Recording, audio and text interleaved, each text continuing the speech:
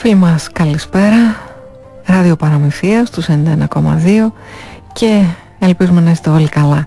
Είμαστε εδώ κοντά σας σήμερα για να μιλήσουμε με τον ε, μοναχό Αλέξιο όπως ε, κάναμε και στην προηγούμενη εκπομπή μας και να μας διηγηθεί το υπόλοιπο της πορείας του προς τον Χριστό γιατί ήταν μια αληθινή πορεία προς τον Χριστό με μεγάλη ειλικρίνεια και μεγάλη αγάπη.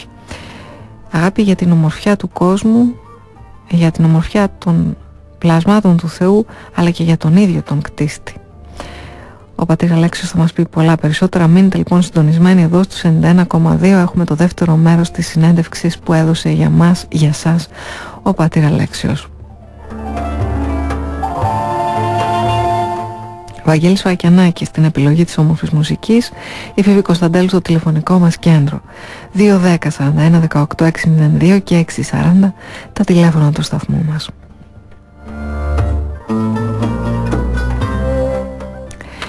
Και έχουμε μία πρόταση, ένα πολύ χαριτωμένο πασχαλινό διήγημα, εμπνευσμένο από την παράδοση είναι το δίγημα που βρίσκεται στο βιβλίο 7 παπούτσια για την κύρα Σαρακοστή της Άννας Ιακώβου. Πάντα είχαν την απορία τα παιδιά αν η κύρα Σαρακοστή έχει πράγματι 7 πόδια κάτω από το φουστάνι της ώσπου μια μέρα ο Λάμπης αποφάσισε να εξερευνήσει το μυστήριο. Ένα όμορφο βιβλίο για παιδιά και μεγάλους από τις εκδόσεις Άθος Παιδικά.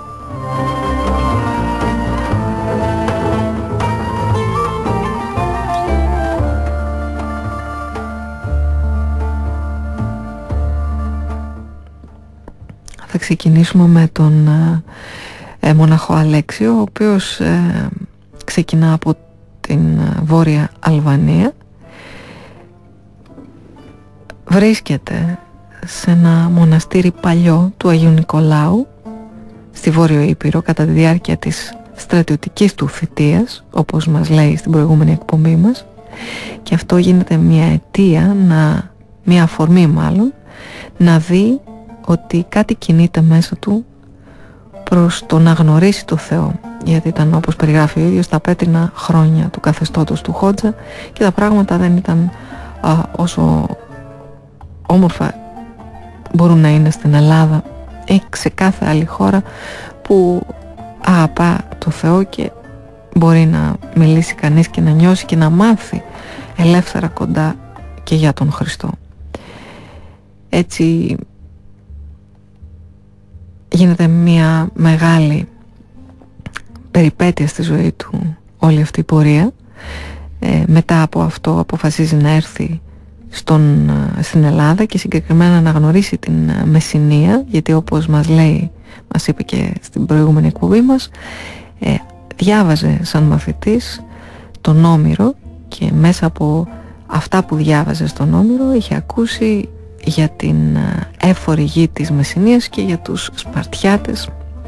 Τι δυνατοί πολεμιστές ήταν και όλα αυτά του κίνησαν σαν παιδί του ενδιαφέρον και αυτός ο σπόρος μέσα του αργότερα βλάστησε.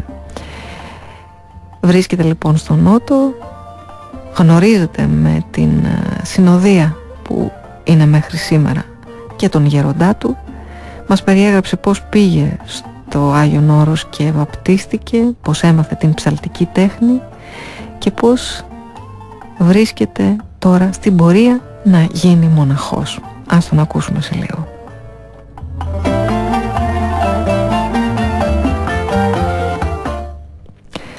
Πριν θα μας ψάλει ο ίδιος το «Όσοι εις Χριστόν ευαπτίστητε» στα αλβανικά.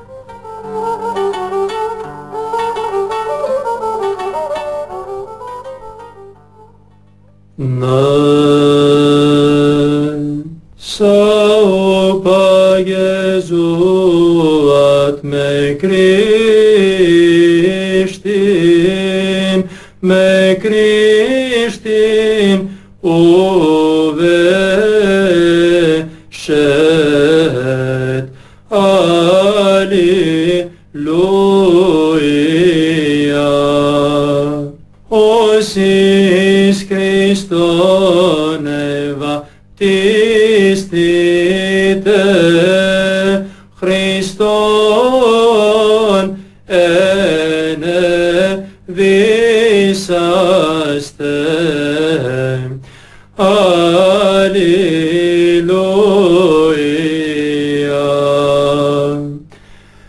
So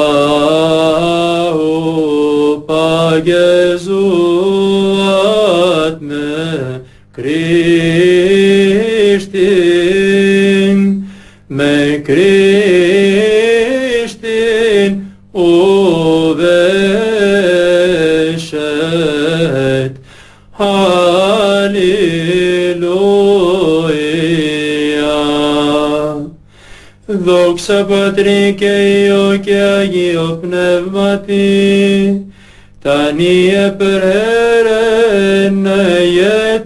τεγεται, δε αμήν. Χριστόνε,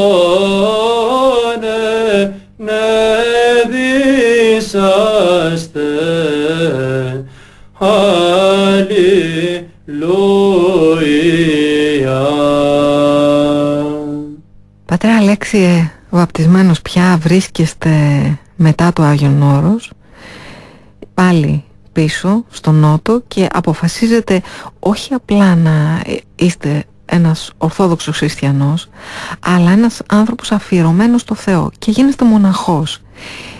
Πείτε μας λίγο πώς δημιουργήθηκε αυτό το κίνητρο να πάρετε αυτή την μεγάλη απόφαση. Ευλογείτε. Μάλιστα. Αδερφή μου Σοφία, πραγματικά πάλι θα πάω σε ένα θαύμα το οποίο το έζησα, το αισθάνθηκα και είναι τόσο η ευλογία του Θεού, τουλάχιστον σε μένα, να μου έχει δώσει τόσο πολλά που δεν ξέρω αν αξίζω.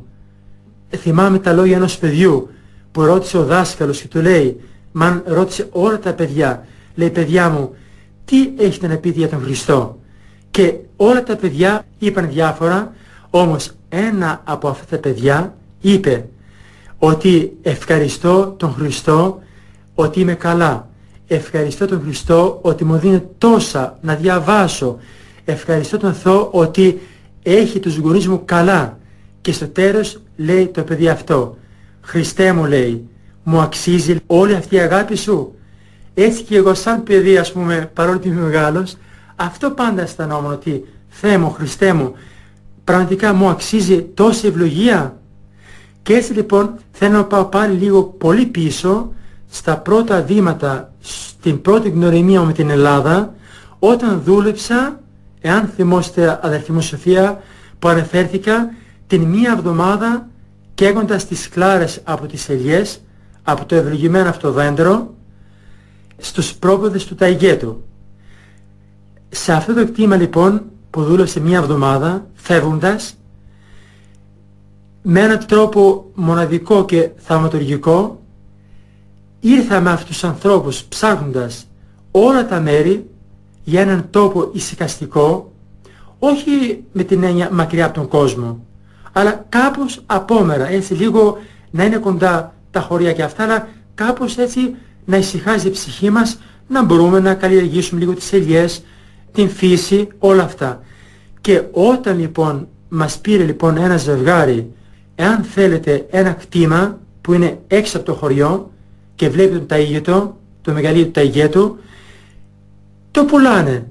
Και την ημέρα εκείνη μαζί με έναν αδελφό που ήταν δόκιμος πήγαμε το αυτοκίνητο και φτάνοντας εκεί πέρα με, τον, με τους ανθρώπους τι να δω είναι αυτό που λέμε εξ ουρανού το θαύμα ήταν όλο το κτήμα του ανθρώπου ο οποίος βέβαια είχε κοιμηθεί έτσι του ανθρώπου που με πήρε για πρώτη φορά να δουλέψω σε αυτό το κτήμα που αναφέρθηκα πριν και λέω δεν είναι δυνατόν λέω αυτό, λέω ήταν συγκλονιστικό.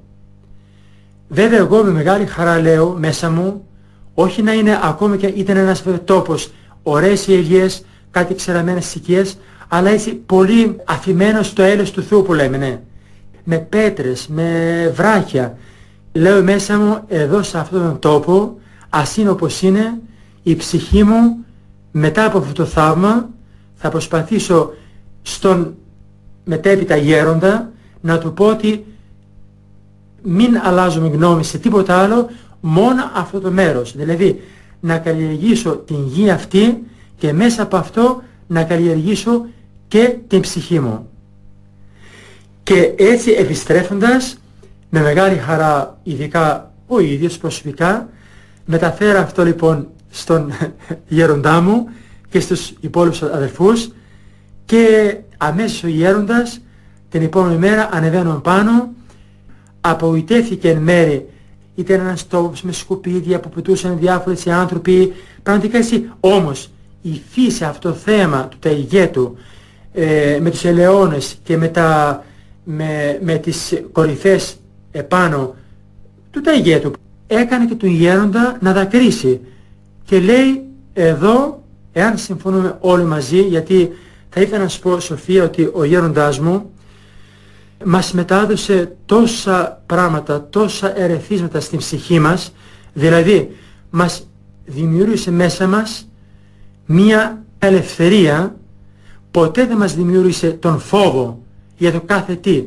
Ακόμα και στην υπακοή μας έδωσε την ελευθερία ώστε μέσα από την ελευθερία να μην φοβάμαι τον γέροντα από κάτι που έκανα ή τον αδελφό μου αλλά ίσα ίσα να τον σέβομαι. Και μέσα από τον σεβασμό είμαι και ελεύθερος γιατί δεν φοβάμαι τίποτα. Και αυτά τα ερεθίσματα έτσι σιγά σιγά παίρνοντας αυτό το κτήμα και σιγά σιγά δημιουργώντας πραγματικά έναν παράδεισο νομίζω ότι ήταν τα πρώτα βήματα του μοναχισμού και νομίζω ότι τίποτα δεν είναι τυχαίο. Τα μαθήματα αυτά που έκανα και στην μουσική την Βυζαντινή να το ο Θεός μου τα έφερε σαν ένα μικρό τάλαντο γιατί δεν ήξερα και όλος τι είναι αυτό, αυτή η λέξη τάλαντο. Και κάποια στιγμή μου εξηγεί ο γέροντας παιδί μου μου λέει τα τάλαντα τα δίνει ο Θεός, τα σκορπίζει σε όλη την οικουμένη. Εξαρτάται βέβαια τι θέλει να πάρει κανείς. Μπορεί να πάρει και ένα τάλαντο που να είναι για ό,τι χειρότερο αλλά μπορεί να πάρει και ένα τάλαντο που να είναι ό,τι καλύτερο για τον αυτό σου, για τον συνάνθρωπο. Και έτσι λοιπόν δημιουργήθηκε λοιπόν πάρα πολλά τάλαντα.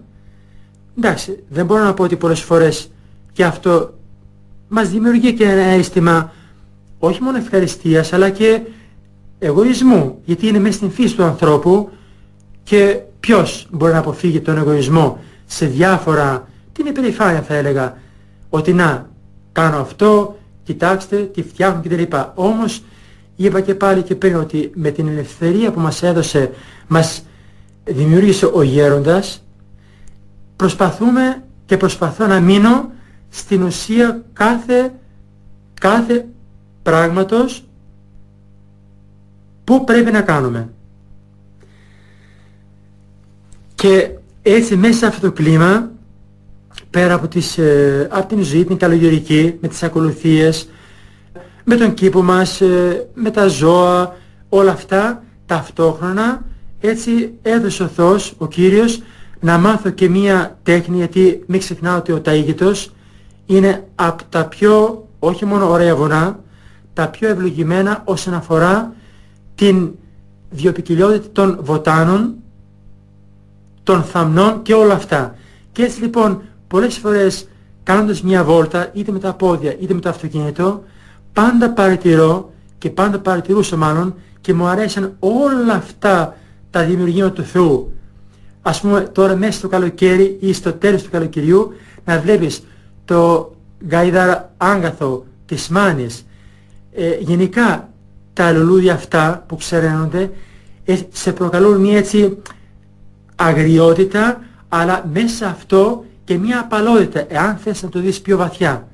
Και έτσι λοιπόν έκοβα αυτά τα στον δρόμο, τα έπαιρνα, τα αποξάρανα στο, σε ένα χώρο δροσερό μέσα και έτσι λοιπόν έμαθα με την ευχή του γέροντος την ανθοτεχνική έτσι που μέσα από αυτά τα λουλούδια τα αποξαραμένα μπορείς να δημιουργήσεις συνθέσεις από σταυρό, από ένα στεφάνι, από οτιδήποτε με ελάχιστα πράγματα και μέσα από αυτό μου δημιούργησε ο γέροντας να αισθανθώ και την έννοια της οικολογίας, δηλαδή να μην είναι τίποτα βιομηχανοποιημένο και να είναι όλα χειροποίητα. Να σας πω την αλήθεια ναι, γιατί από μικρό παιδάκι έτσι και στην πατρίδα μου πάντα λάτρευα, αγαπούσα την φύση και τα λουλούδια. Παρόλο την φτώχεια στη χώρα μου, τότε είχα έναν κήπο, γιατί ήμουν και το πιο μικρό παιδί της οικογένειας, οι άλλοι δουλεύαν, εγώ μπορούσα και να σπουδάζω και ταυτόχρονα είχα και ελεύθερο χρόνο, έτσι είχα έναν κήπο με τους κατηφέδες, με τις τεναθυλιές, με μυρωδικά, που έτσι οι άνθρωποι που ερχόντουσαν ας πούμε στους γάμους που παντρευόντουσαν οι αδερφές μου ή ε, τα ξαδέρφια μου, πάντα θαυμάζανε την ομορφιά του κήπου και έτσι που εκεί που μου λέγανε ένα μπράβο. Ε, εντάξει, τότε εγώ ως μικρό παιδί το αισθανόμουν, το χαιρόμουν. Τώρα δε ως μοναχός το μπράβο αυτό, παρόλα αυτά και σήμερα ο γέροντας έχει αυτό το μεγαλείο να μας πει παιδί μου σε ευχαριστώ να σε έχει ο Θεός καλά χαίρεται κάθε όταν κάνουμε κάτι, δημιουργούμε κάτι είτε είναι αυτό που σας είπα πριν μια σύνθεση είτε έναν ωραίο κήπο με τα λαχανικά είτε οτιδήποτε άλλο. Και νομίζω ότι αυτό είναι η ομορφιά της ζωής. Και βέβαια μέσα από αυτό το τάλαντο, π.χ. της δημιουργίας ε, μιας συνθέσεως, παίρνω, εγώ παίρνω πρώτα δύναμη και προχωρώ πολύ ευτυχισμένος σε αυτόν τον δρόμο. Γιατί ξέρω ότι όταν θα έρθει λοιπόν μια γιαγιά στο μοναστήρι και έχω φτιάξει ένα μικρό σταυρολάκι μετά, μετά από ξεραμένα και της το προσφέρω με την ευχή του γέροντος, αυτή η γιαγιά την ώρα εκείνη αισθάνεται τόσο ευλογημένη, αισθάνεται τόση χαρά που μου το ανταποδίδει με το χαμόγελο των ρητιδιών της, του προσώπου της δηλαδή. Πώς πήρατε το όνομα Αλέξιος και πώς αντιμετώπισαν οι γονείς σας αυτή την απόφαση να μονάσετε; Πριν είχα διαβάσει ένα βιβλίο του Αγίου Αλεξίου, του ανθρώπου του Θεού. Μέσα από αυτό το βιβλίο, την κοινωνία με τον Άγιο αυτό, που δεν έφυγε σε σε μακρινές χώρες, όμως ο ίδιος επέστρεψε να ζει απόλυτα στη μετάνια και στην στέρηση ακόμα και των γονιών και των πάντων και επέστρεψε πάλι λοιπόν κοντά στο πατρικό του σπίτι και όταν πια κοιμήθηκε, μάλλον και οι γονείς ακόμα καταλάβαινε μετά το θάνατό του ότι ήταν το παιδί τους. Και έτσι λοιπόν ο βίος του Αγίου αυτού, επειδή και εγώ εν μέρει ζούσα μακριά, από το πατρικό μου, παρόλο που μπορώ να πω ότι ποτέ δεν στερήθηκα τους γονείς μου, γιατί η αγάπη των αδερφών μου έτσι πάντα τους έφερε πολύ αγάπη στην Ελλάδα και έτσι και αυτοί χαρήκαν πάρα πολύ με αυτήν την επιλογή. Μπορώ να πω ότι από την αρχή που έγινα μοναχός και με είδανε, ουδέποτε δεν εκφραστήκανε το παραμικρό, ας πούμε μια δυσφορία ή ε, μια λύπη. Ίσα ίσα το θεωρούν ήδη ότι είναι μια ευλογία για αυτούς η επιλογή αυτή στο μοναχισμό. Η μέρα αυτή που ε, έγινε μοναχός με παραπέμπει πολύ μακριά πάλι το, στο καιρό εκείνη της Μεγάλης Πέμπτης που έγινε το βάπτισμα. Γιατί νομίζω ότι η μέρα του βαπτίσματός μου και η ημέρα που έγινε μοναχός έτσι αυτές τις δύο ημέρες τις ταυτίζω και είναι σαν να είναι μία για μένα. Έτσι ήταν μια μέρα πάλι και αυτή πάρα πολύ ευλογημένη. Βέβαια ήμουν πιο προετοιμασμένος πια και ψυχικά και σωματικά και είχα πάρα πολλά πια ερεθίσματα μέσα μου μέσα από την ε, δοκιμία στο εισικαστήριο αυτό για να δοκιμάσω τον αυτό μου εάν όντως θέλει ο Θεός ή αν όντως ο γέροντας και αδελφό λοιπόν έτσι αισθάνεται, βλέπει λοιπόν την πορεία αυτή ότι μπορώ να συνυπάρξω γιατί δεν είναι και εύκολα πάντα να συνυπάρχεις λοιπόν με ανθρώπους σε μια κενή πορεία που τα πάντα είναι εις ένα. Και έτσι λοιπόν η ημέρα εκείνη ήταν πάρα πολύ ευλογημένη. Πολλά τα συναισθήματα η αγάπη των ανθρώπων του ιεροντός μου, των αδελφών. Έτσι με τη λαμπάδα αυτή η ομορφιά λοιπόν μέσα στο σκοτάδι πριν τα χαράματα λοιπόν να γίνει ε, η κορά όλα αυτά τα ωραία λόγια που πρέπει να αρνείσαι αυτό και αυτό και αυτό και να αγαπήσεις τον Χριστό έτσι όλα αυτά τα όμορφα και ευλογημένα έτσι νομίζω ότι με φαίνανε ακόμα ένα βήμα πιο μπροστά για να συνεπάρξω και να πορευθώ στην αγάπη, στην αγκαλιά του Χριστού και στην αγάπη της αδελφότητάς μου. Την ημέρα μάλλον που συνειδητοποίησα τον λόγο του γέροντος γιατί κάποιοι αδελφοί είχαν γίνει μοναχοί πριν από μένα. Την ημέρα εγώ ήμουν δόκιμος, έτσι ξέρετε με τα ρούχα αυτά, τα σκούρα ρούχα, αλλά κάποιος ξένος, ας πούμε οι γονείς μου και οποιοδήποτε κοσμικός θα μπορούσε να πει ότι είναι ένας άνθρωπος του Θεού, ένας κοσμικός.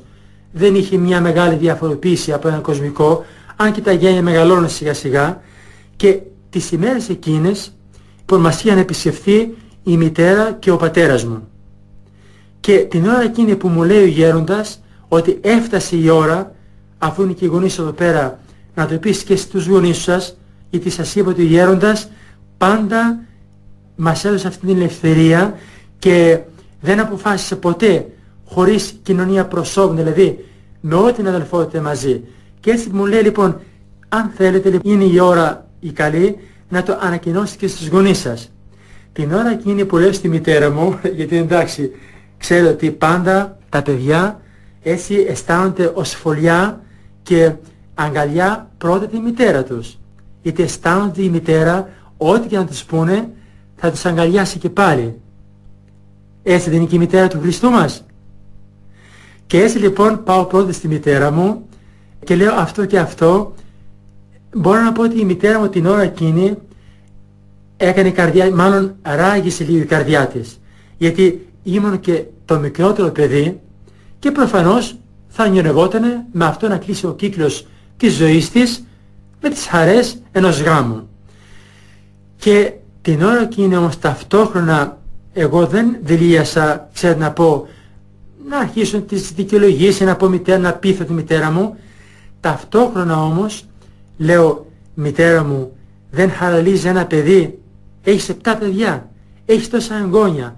Δεν χαραλίζει λοιπόν ένα παιδί να υπηρετήσει τον Χριστό; Και μέσα από αυτό να υπηρετήσει και εσάς με τις προσευχές και με την ζωή αυτή την ευλογημένη, την καλογερική.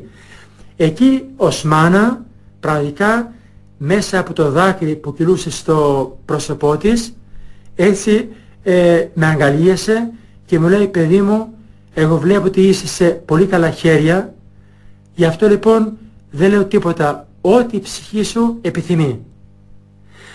Πάρα πέρα ήταν ο πατέρας, μας ακούει που ψιθυρίζαμε αλλά ξέρετε οι άντρες πάντα είναι πιο αδιάφοροι δεν πάρα πολύ κατάλαβε. Όμως λέω, τώρα νυν είναι η ώρα να πάω να του πω και του πατέρα για να πάρω την ευχή του πατέρα μου, εντάξει. Και πάω λοιπόν στον πατέρα μου και έχει τη μητέρα μου πίσω από μένα ναι, και λέει μη πεις πολλά. Έτσι θα μισητέψω εγώ λοιπόν στον πατέρα.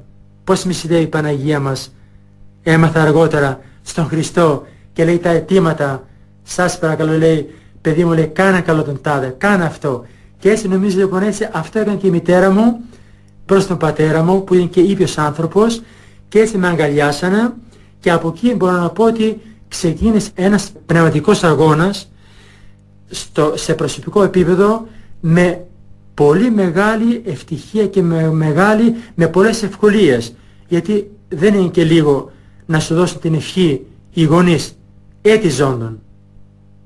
Και αυτό το νυν, αδελφή μου Σοφία και αγαπητοί μας ακροατές, όποιος ακούει και έστω μπορεί να πάρει και μία λεξούλα από αυτό που λέμε, στην ψυχή του και στην καρδιά του, αυτό το νυν μας το καλλιέργησε ο γέροντας σε μεγάλο βαθμό.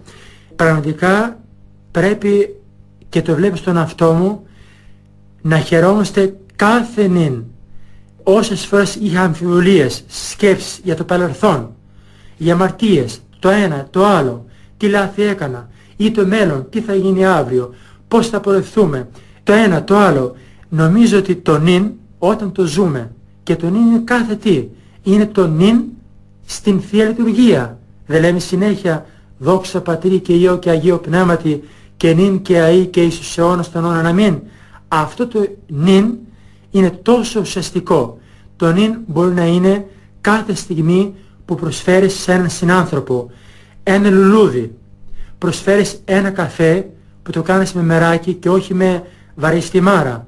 Είτε αυτός και το βλέπεις στην πραγματικότητα επειδή είμαι και αρχοντάρης, έτσι έχω αυτή την ευχή και την ευλογία του γέροντος, όταν προσφέρω σε μια ταλέπορη ψυχή που ήρθε από μακριά να προσκυνήσει έναν καφέ, ένα νερό, αλλά που πραγματικά την ώρα εκείνη δεν ξέρω αν έγινε με πολλές προσευχές, αλλά έγινε μέσα μου, πήρα χαρά καν στο καφέ ότι θα πάρει χαρά αυτός ο άνθρωπος που ποιος ξέρει γιατί ήρθε, τι θέλει να αποκομίσει, τι οικογένεια έχει, τι δυσκολίες έχει και αυτός ο καφές την ώρα εκείνη και μάλιστα έτσι και το ποτηράκι του νερού και με μία μαργαρίτερα στο φριτζάνι για αυτόν τον άνθρωπο είναι σαν να το έχεις δώσει όλο τον κόσμο την ώρα εκείνη. Οπότε αυτό το νυν είναι μεγάλη υπόθεση και νομίζω πρέπει κάθε χριστιανός είτε αυτός είναι κοσμικός είτε είναι μοναχός ή μοναχή νομίζω ότι πρέπει να το ζήσουμε, να το αισθανθούμε και να το σκορπίζουμε σε όλη την οικομένη. Πάτερ Αλέξη, οι γονείς σας βρίσκονταν κοντά σας ε, στην ε, τελετή της κουράς; Όχι, οι γονείς στην κουρά δεν μπορούσε να ήταν η αλήθεια γιατί είχε και πρόβλημα υγείας ο πατέρας μου τότε. Αδελφή Σοφία, το πώς ήρθε αυτή η ευλογημένη ώρα του μοναχισμού δεν μπορώ να το εξηγήσω με λόγια γιατί τα θαύματα δεν θέλουν εξήγηση. Τα πιστεύεις. Παρ' όλα αυτά όμως θα ήθελα να πω δύο-τρία σημεία με σημαδέψανε αργότερα στην ζωή μου πάντα αγαπούσα τα όρη και η θάλασσα πάντα μου άρεσε αλλά ξέρετε η θάλασσα, το κύμα, όλα αυτά κάπου κάπου φέρνουν και μια ανησυχία πιστεύω, τουλάχιστον σε μένα, ναι, ενώ τα όρη, τα βουνά, εξίσου και το όρος Θαβόρ, του Αγίου Όρους, οι κορυφές αυτές μου δίνανε μια ανάταση το να θέλω να βρω τον Θεό, να το ψάξω.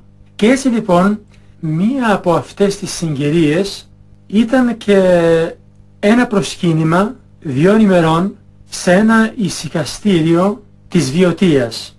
Ήμουν πάρα πολύ ευλογημένος να πω ότι σε αυτή την εορτή λειτουργούσε ο πρώην Μητροπολίτης Θεβών και Λεβαδίας, Ιερώνυμος και νυν Αρχιεπίσκοπος Αθηνών. Η αλήθεια είναι ότι στο γαλήνιο πρόσωπό του συνάντησα έστω και λίγο αυτό που λέμε πραότητα, ηρεμία, καλοσύνη, χωρίς πολλές εξηγήσεις, πολλά λόγια και έτσι επειδή είναι και ένας τόπος που έχει πολλούς Αρβανίδες, η Βιωτία, κάτι του είπα και στα Αρβανίδικα γιατί πάντα μου αρέσανε τα τραγούδια των Αρμανιτών που είναι συνηθιασμένα με την ξενιτιά πριν 400 χρόνια και αυτά εγώ τα συνδύασα πάντα και με την ξενιτιά τη δική μου. Και έτσι είχα διαβάσει κάποια δοκίμια για τους Αλβανίδες. Και μέσα αυτά είπα τότε, του είπα του Μητροπολίτου, και ένα τραγούδι που λέγεται «Ο όμορφη μου μοριά», «Ο εμπούκορα μωρέ».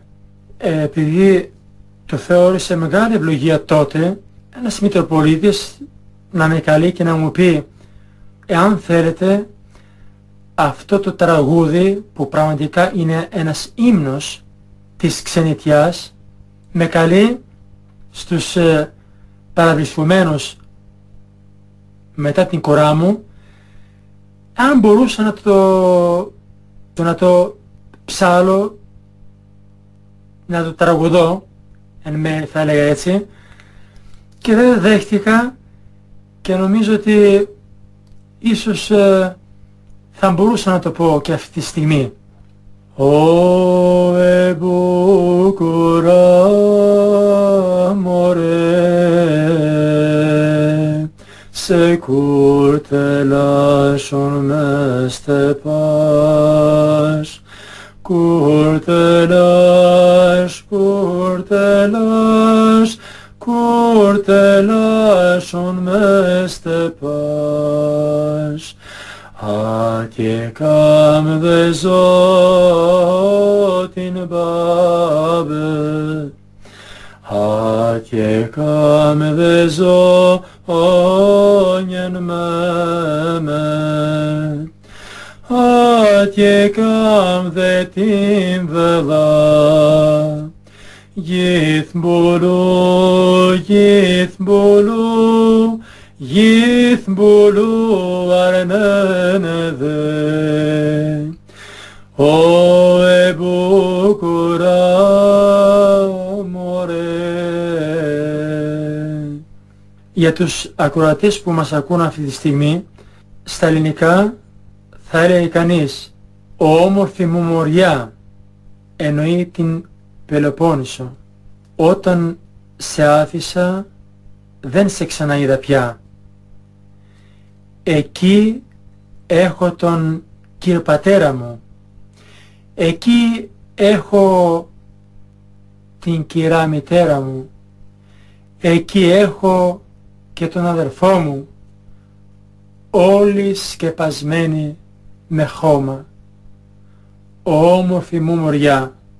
Έτσι με συγκίνησε πάρα πολύ το κάλεσμα του Μητροπολίτου και αν θέλετε ήταν ε, για μένα ε, το ναι οριστικά στην ψυχή μου για τον μοναχισμό. Ξένος αυτοί που περάσαν από την Κορώνη για να πάνε στην κάτω Ιταλία, νότια Ιταλία, ξένος και εγώ σε ξένον τόπο, αλλά σε έναν τόπο που ουδέποτε, τουλάχιστον εγώ προσωπικά, δεν αισθάνθηκα μόνος, αλλά αισθάνθηκα μουσαφίρης, δηλαδή πρόσωπο αγαπητό, πρόσωπο αδελφικό. Και αυτό το έχω πει, το λέω και θα το πω πάντα με μεγάλη φωνή σαν μια απάντηση τη σήμερον ημέρα σε όλα αυτά που ακούμε εθνικιστικούς κύκλους είτε εδώ είτε στην Αλβανία. Μας συνδέουν τόσα πράγματα που νομίζω ότι μόνο η αγάπη μπορεί να τα ενώσει.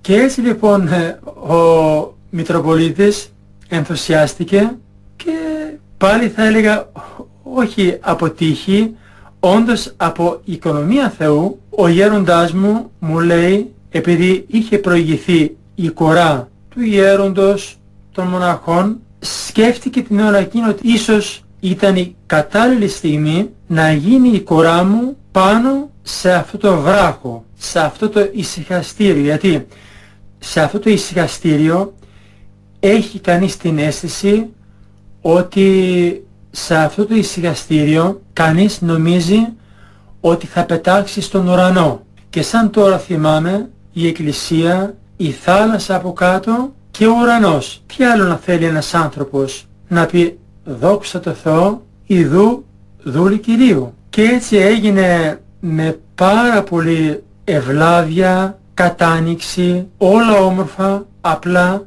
ό,τι ποθούσε η ψυχή μου. Στην κορά αυτή του μοναχισμού, πάλι σε όλη τη διάρκεια μάλλον της κοράς, η ψυχή μου, οι μνήμες μου με ξαναταξιδέψανε στο Άγιον Όρος στην βάπτισή μου. Νομίζω ότι δεν είναι τίποτα τυχαίο, τα πάντα είναι θέλημα Θεού. Και έτσι λοιπόν την ημέρα εκείνη είχε σκεφτεί και ο γέροντας το όνομα, ακού το όνομα του Αγίου Αλεξίου. Τα συναισθήματα, η ευλογία, η ευγνωμοσύνη μου, το ευχαριστώ μου δεν μπορούσε πιστεύω να εκφραστεί με λόγια παρά μόνο με μια μεγάλη αγκαλιά προς τον ποιμενάρχη τότε της Βιωτίας, εννοείται και στους αδελφούς που βρεθήκανε, ήταν έτσι κι αλλιώς και πάρα πολύ λίγοι άνθρωποι και αυτό με έκανε πιο πολύ να συγκεντρωθώ και να είναι πιο ουσιαστικό αυτό το μυστήριο που γινόταν την ώρα εκείνη.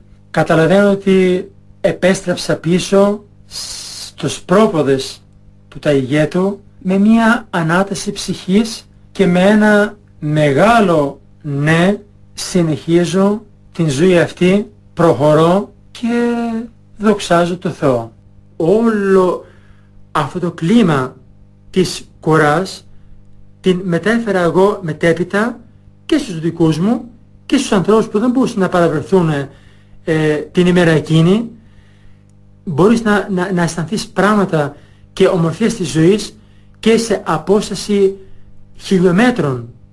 Αυτό το έμαθα πάρα πολύ από τον Άγιο Πορφύριο, ο οποίος δεν ήταν απαραίτητο να είναι λοιπόν στο καράβι με τον τάδε καπετάνιο και να το πω παιδί μου πρόσεχε γιατί έχει φορτούνα σήμερα και ή να είναι λοιπόν σε μια καρκινοπαθή στο Λονδίνο και να είναι κοντά να της κρατάει το χέρι. Μα το χέρι της της το κρατούσε μέσα από την προσευχή του στον χώρο που βρισκότανε.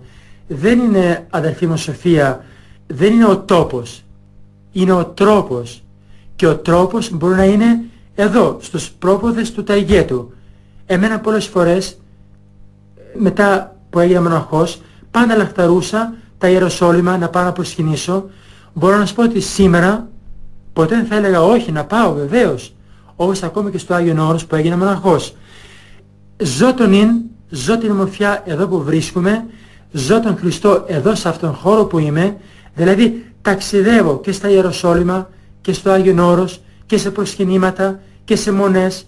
Δηλαδή θέλω να πω ότι δεν είναι απαραίτητο ούτε να ήταν οι γονείς μου είτε να είναι κάποιοι γνωστοί μου. Νομίζω ότι ο τρόπος της ζωής μου έδωσε σε αυτούς τους ανθρώπους να καταλάβουν και να αισθανθούν όλη την ομορφιά. Παρόλο που δεν ήταν παρόντες λοιπόν οι γονείς ή κάποιοι γνωστοί φίλοι μου ήταν σαν να ήταν εκεί. Γιατί νομίζω ότι αυτό αισθάνθηκα λοιπόν σε κάθε βήμα διαβάζοντας και ακούγοντας λοιπόν τον λόγο του Αγίου Πορφυρίου που είναι και προστάτης του ραδιοφόρου μας που μιλάει μέσα στην καρδιά μας και που πάντα λοιπόν εκεί που ήταν μπορούσε να καταλάβει και να αισθανθεί το κάθε άνθρωπο, κάθε ψυχή χιλιόμετρα μακριά. Βέβαια εγώ είμαι ένα τίποτα να αισθανθώ, αλλά όμως ο λόγος του Ιεροντός μου, οι λόγοι των πατέρων, ο λόγος του Χριστού μου δίνει συνέχεια αυτό το ερέθισμα για έστω τόσο δά, όπως σας είπε και πριν, με ένα καθαδάκι σε ένα προσκυνητή, με ένα δωράκι, με μια σύνθεση σε ένα παιδάκι, με ένα στεφάνι, αυτό μου δίνει την χαρά να μπορώ ας πούμε να χαίρομαι αυτό το νυν και την στιγμή. Ανάμεσα ε, αδελφοί μου Σοφία, όπως σας είπα και πριν, στους πνευματικούς αυτούς ανθρώπους που είτε έχουν φύγει από την ζωή όπως είναι ο Άγιος Πορφύριος, είτε λοιπόν ο γεροντάς μου και αδελφοί μου, ήταν και ένα πρόσωπο που διαβάζοντας το βιβλίο, το βίο της, με συγκλώνησε και πραγματικά αν μπορούσα θα έκανα το ίδιο. Όμως όπως σας είπα και πριν δεν είναι όλοι οι άνθρωποι λοιπόν φτιαγμένοι είτε ο Χριστός τον έναν τον θέλει εδώ στην φορτούνα της ζωής να πάει εδώ και εκεί τον άλλον τον θέλει να είναι σε ένα μόνιμο μέρος που μπορεί να δώσει την αγάπη του συνέχεια και στον Χριστό και στον συνάνθρωπο. Είδε λοιπόν ένα πρόσωπο μιας Αγίας ψυχής για μένα ναι, της γερόντισσας Γαβριλίας. Στο πρόσωπό της θαύμασα το σημαντικότερο που μπορεί να έχει, που μπορεί να μάθει, που μπορεί να ολοκληρώσει τον άνθρωπο η αγάπη προς τον πλησίον. Είτε αυτός είναι ξένος, είτε είναι ομόθρησκος. Πάντα μιλάμε βασίζοντας λοιπόν στην ορθή πίστη της Ορθοδοξίας αλλά και στο άπλωμα του χεριού προς οποιονδήποτε άνθρωπο. Και έτσι ο βίος της, η αγάπη της για τους λεπρούς, για τον άρρωστο, για οποιονδήποτε άνθρωπο του κόσμου τούτου, με έκανε πραγματικά έτσι, μου έθεσε τόσα και τόσα μέσα μου, που έστω, έστω και λίγο να μοιάζω στο βίο της και να μπορώ να δώσω και εγώ το ελάχιστο στον συνάνθρωπο. Όλη αυτή η διαδρομή και δεν είναι καθόλου τυχαίο, πάλι πηγαίνω στην οικονομία του Θεού, ότι τα πρώτα μου βήματα, το τραγούδι αυτό που είπα στην αρχή, με το ελληνικό στοιχείο και το αλβανικό, η στρατηγική μου θητεία στο Νότο δεν είναι καθόλου τυχαίο. Ο Θεός, η επίσκεψή μου λοιπόν στο, στην, ε, στο καθολικό της Ιεράς Μονής του Αγίου Νικολάου κοντά στους Άγιους 40 μου έφερε λοιπόν πάρα πολλά, δεν είναι καθόλου τυχαίο, ήταν η οικονομία Θεού και βέβαια αυτό αργότερα το έφερε λοιπόν σαν πραγματικά ευλογία του Κυρίου και η βάπτισή μου εντελώς στον βορρά, στην άλλη άκρη της Ελλάδος και ο μοναχισμός, το κάλεσμα του Θεού στους πρόποδες του Ταϊγέτου να μονάσω νομίζω ότι είναι κάτι ό,τι καλύτερο που με κάνει να ταξιδέψω ανακαιρούς από βορρά σε νότο αλλά να μένω μόνιμος στον χώρο αυτό και να αισθανθώ όλη την οικουμένη ότι πραγματικά είναι μέσα μου και στο κελί μου και στο κομποσχήνι μου. Κλείνοντας λοιπόν αυτή την ομολογία, καρδιακή ομολογία θα έλεγα, προς εσάς αδελφοί μου Σοφία και βέβαια και προς τους ακροατάς της Πυριακής Εκκλησίας, θα ήθελα μάλλον να δώσω από την ψυχή μου ένα μεγάλο ευχαριστώ στον γεροντά μου που μου έδεσε τόσο πολλά και μου δίνει ακόμα και αυτή τη στιγμή που μιλάω και στους Αγίους μας και πάνω απ' όλα στον Χριστό. Και βέβαια ένα μεγάλο ευχαριστώ στην αγάπη σας που με ανεκτήκατε έστω αυτά τα λεπτά και επίσης να ευχαριστήσω από καρδιάς όλους τους συντελεστές της ε, Πυριακής Εκκλησίας με τόσο μόχθο, τόσο αγάπη σκορπίζουν σε όλη την οικουμένη μέσα από την φωνή τους τα λόγια τους των πατέρων την αγάπη για τον Χριστό και μας παραμυθιάζουν για να μην είμαστε μόνοι μας. Música